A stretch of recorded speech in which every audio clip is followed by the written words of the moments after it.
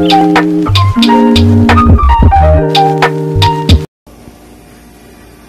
guys, papakita ko na naman sa inyo ang trabaho ko ngayon. Sasarado. Kasi ito na yung lumabas. Naalisan ko siya ng mga pare.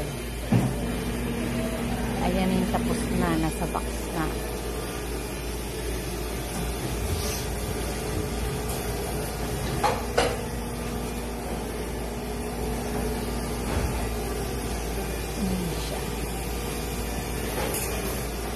Ibang klase na naman yung ginagawa ko ngayon.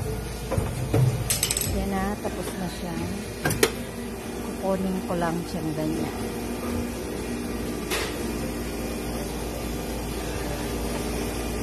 Sarado na.